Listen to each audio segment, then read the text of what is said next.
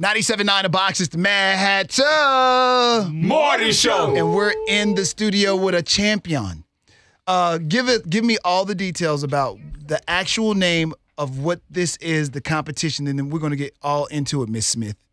I am Ramona J. Smith, the 2018 World Champion of Public Speaking. The organization is Toastmasters International. There it is. Come, can she get a little yeah.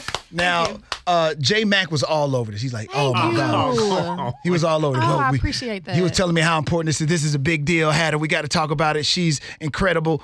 What is it? How do you get to be a part of it? Why were there so many people a part of this as well? Because I understand it's thousands upon thousands Yes. upon thousands of thousands, and maybe maybe thirty thousand people. Was it? 30,000 people started initially in the competition at Right. the club level. Right, right. And then it dwindled down to 106 at semifinals, and then 10 at finals, and then and then me, the winner. Wow. So take me through your journey. Yeah, like, where'd yeah, you start? go. Was it the first uh, competition was in Houston, then you moved to another city, or what? How, how did it all go?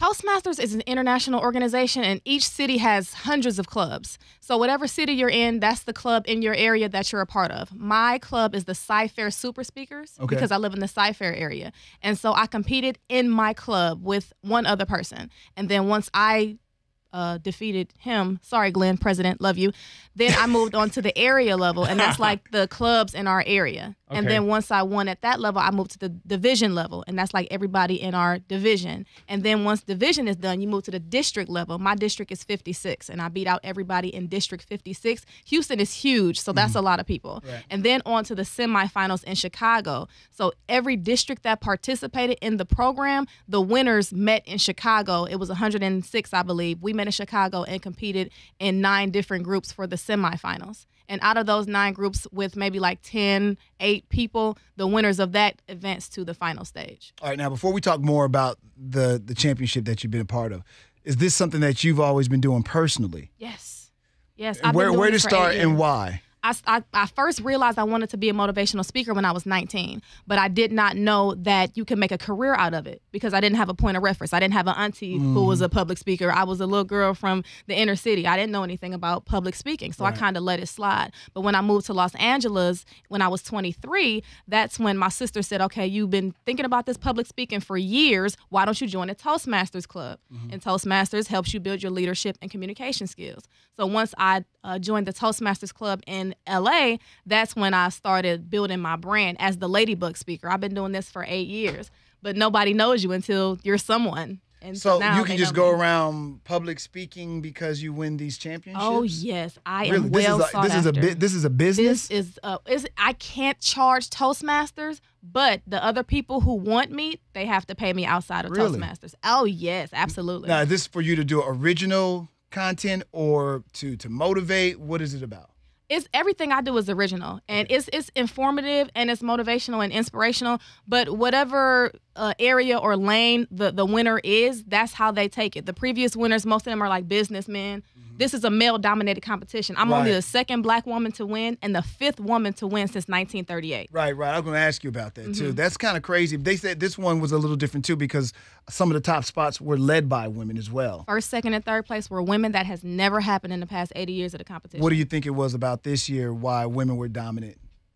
You know what? I Is really the times we're in? Is it? I think so. I think maybe it's just a, a women's motivational movement. I think that we are just coming out of our shells and we're just ready to to blow up and get out the kitchen and get out this uh, box of motherhood and really show the world that we can compete and we are the best in the world. Now, are the material that you're writing is it something that they give you that you have to write about, or is this material that you have to come up with it all on your own?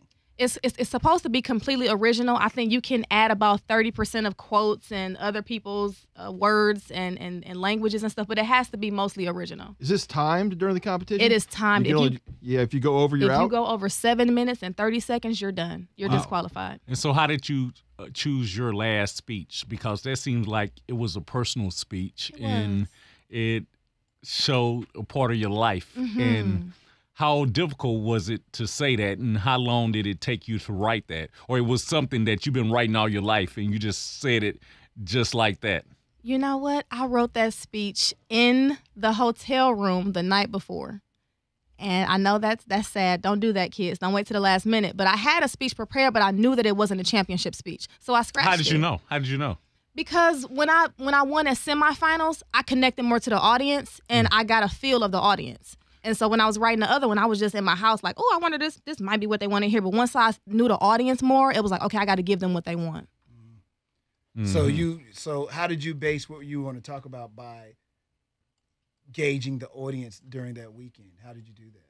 I, I knew I wanted to be transparent, but I didn't want to be uh, depressing Mhm. because the story can be depressing depending on how I would have told the story. And I left a major part out about my son because nobody wants to hear about a kid with cancer. You know, he doesn't have cancer anymore. He's he's uh, uh, cancer free, but I didn't want to add that I think that would have been an important part of this story to me. But how many because minutes people- do you have? Seven and a half. Seven and a Yeah. I don't need you getting on me, buddy. I'm just asking questions saying. because I know you and Cooper will get on people. Now we're gonna have a nice interview today while Miss Smith is in the building. Okay, So let's keep it respectful, buddy. okay. This guy be tripping, man. He's right though. You don't want him to get disqualified. It's- she won't get disqualified, but there has to be. You got to add that to the story. It's a very important part of the story. Obviously, she didn't because she Hey, won. watch yourself, buddy. Oh, Me and Jen were talking. are we in the ring right now? No, We're no, no, no, no. You know, no. But I, I, I, it's interesting. How hard was it for you to make the decision? Like, you know what? This is depressing. I'm not going to. How, how long did it take you to mull over that and say, no, not in? that was instant because when I lost in 2015, I lost at the district level, and I lost because my speech was too depressing. I didn't bring them back up.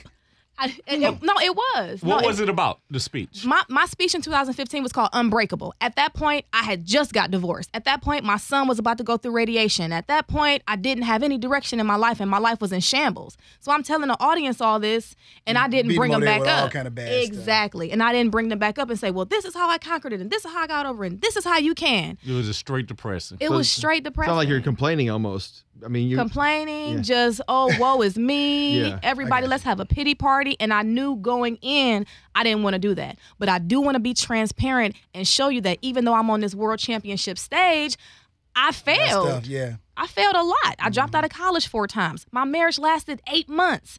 I lost before I got here. But I'm you, sorry. Stop. oh, Eight oh, months. Oh, I knew that was coming. I, I, mean, I can't talk. Mine lasted eight months too. Oh yes. I'm just wondering why yours lasted eight Fools months. I'm just trying to learn something. fools rush in, not doing my research and not being prepared to be a wife. I wanted to Mm. be married, but I didn't want to be a wife. I wanted him to be my husband, but I didn't want to be a wife. It's a big difference. Mm. Ooh. I didn't I want see the why you speaking, girl. That's a good one right there. I know that book coming soon now. Absolutely. I felt that. You see how fast she got right to it? Ooh, I felt that. That's the real stuff right there. So- go ahead. So, who are some top speakers for you? I mean, now that you're in the business, who are some people that, hey, these are the people that I've learned from or or get inspired by? Les Brown, of course. Oh yeah, I love Les this. Brown, of absolutely, of course. Iyanla Vanzant, for sure. Uh, Tony Robbins is big for me. He's like the OGs Tony of Robbins speaking, Yeah. right? yeah. Any He's- new he's big school for me. Any that I might not might not be on my radar? Basheer Jones from Cleveland, Ohio. Basheer Jones, he's a political activist. I think I heard this he name. is a leader. He is the con- the councilman in one of the wards up in uh, my city, and he is just a phenomenal man, doing a lot of great things. He's one of the best speakers I've seen so far, and he's my age. We're we're in our early thirties. And so, how do you grade a good speaker? In Toastmasters, there's a, there's a criteria. You based it on appearance, originality, Appearance? Really? Yes, Okay. yes. Vocal variety and a few other things. It's like a, a, a ballot and they, they judge you, I think it's on a scale of like one to five or something like that. It's it's a grading scale and they, they score you and, and it's based on that. How do you join? You just look it up, Toastmasters.org and find a club. You put in your zip code or your city and it'll Fees?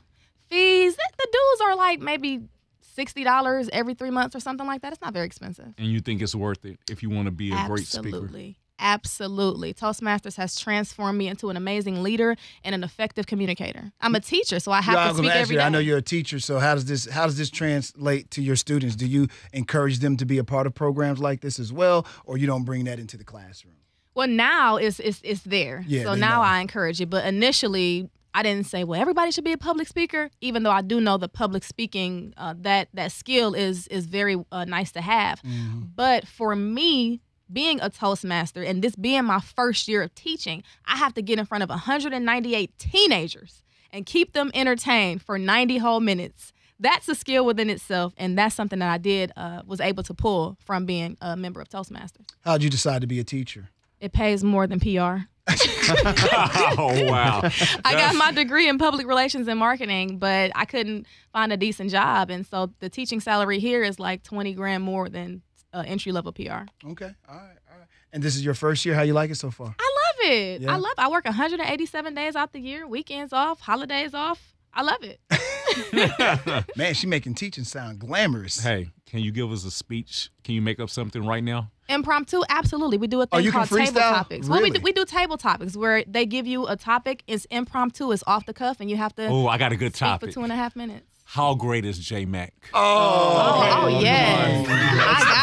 I got you. That's what you stumped on. It. I got you. I can't do it. You know what? you know what? this is the first time in her career. Are you gonna veto this? No, this is listen. This is the first time in her career she like. You know what? I have nothing for this. Oh, I got it. I have brown shirt, freestyle king, radio dad. We're Well, done. We'll give her her one. We'll give her two minutes. Two minutes. Two minutes. That's two. Why don't we give her a strong 32 seconds? There you go. A strong 32. No, no, it gotta be like you know they grade this. I'm When grading he this. start running this over here? I'm grading. Can we? this. Can are we minutes. serious? Uh, Topics all you want you her for two uh, minutes? Yes, Really? She don't know me. I want to see what she makes up. I'm ready. You ready? Yeah, go There ahead. you go. Ego's at an all-time high. in here this morning, huh? J Mac show. the J Mac morning show. I remember yesterday when we were at Okay, you know Hatta what? Morning Show. Say something about the Madd Hatta Morning Show. They'll put everybody in. Two minutes? Yeah, two Okay. minutes. Tell me when. Go. I am here at the Madd Hatta Morning Show. I am starstruck. I am in awe. I am amazed. I'm with my girl AJ. She's repping in the building. I'm surrounded by so much amazing masculinity. And I'm sandwiched between melanated brothers, and I'm feeling empowered, and I'm feeling comforted, and I'm feeling supported.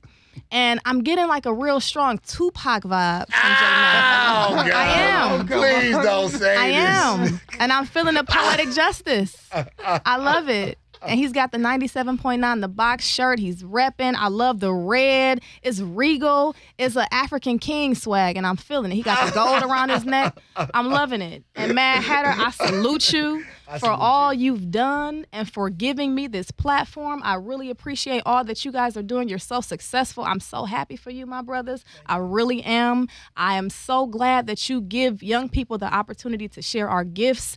And Jimbo, I love your personality. I love how you kind of just you're the cloud in the background holding everything together. The cloud. he's just so mellow. He's over there. He's he's he's the one in the in the corner, like, yeah, yeah, okay, we got this. You're the coach in the corner saying, get up. Okay. Get up. Stand up. I will take that. yeah. You are. this is the ring. Everything. I don't know your personal stories. I don't know the camera guy personal story. I don't know the engineers, the producers. Call camera guy. I don't know your personal stories, but this is all working collectively and collaborative collaboratively. It's synergy in here and I feel it and I appreciate everybody and I'm just so honored and happy to be here. Thank you. Ramona Smith. Yeah. she was. Nice. Nice. Now, actually, on the cool, you should give us just, if you can give us a little portion of your actual, Still standing? yeah, as to why you won. Give us just a little portion of that if you don't mind. Of the speech? Yeah. Okay. Just your favorite, your favorite part of it. Okay. The part where you're like, mm, I know I got him right here. Um, let me see. I talked about three rounds, so I think I'll start where I went back to college. Okay, so I got back in the ring. I went back to college, and after failing four times, I graduated magna cum laude. Even after failing, I'm still standing. Toastmasters, when I failed at the district level, I stand before you today on the world championship stage. Even after suffering a loss, I'm still standing. As for my marriage, I'm still in training. I have yet to find Mr. Right, but I am on the ninth floor at 97.9 The Box, and I'm sure there are some guys, some successful guys, who will be more than happy to take me to Paris very soon. well, you lost, you lost with J Mac. No, that's excellent, man. We really appreciate. it. Really, Thank you want to shout out to your students at the school? Absolutely. If you are listening, Miss Smith students, I love you guys so much. Thank you, MacArthur High School. Thank you, Aldine ISD. I love you all. I can't wait to see you guys soon. Thanks for supporting me and watching my videos. My kids are giving me views. So thank you so very much. We're at over 100K on YouTube. I appreciate you guys. Thank you so much, MacArthur. Oh, and social media too. I gotta ask her. You know, everybody's on social media. They might want to follow. Yes. Because do you ever put out like maybe inspirational quotes or something? I like that? will be. I'm building my brand now. So Okay, I cool, will be. cool. Uh, Instagram is at Ladybug Speaker, and Facebook is Ramona J. Smith. Ramona J. Smith. Ramona, Yes. can you give us three quick tips on how we can become better public speakers? Just some some quick that we can improve on. Absolutely. First of all, be yourself. Don't try to mimic or mock anybody else. Second of all, practice, prepare. Don't just go in there trying to wing it. You need to rehearse. And thirdly, try not to use crutch words like um, uh, you know, mm, mm, so, but, and. Okay. Awesome. Very nice. Hey, then I won't have a speech. and, and, uh, okay. You know, you know, so, so, and. All right, let's give it up again. Ramona J. Smith, ladies and gentlemen. The Toastmasters World Champion of Public Speaking. Yeah. Thank you for real. Thank you. Thank you, guys.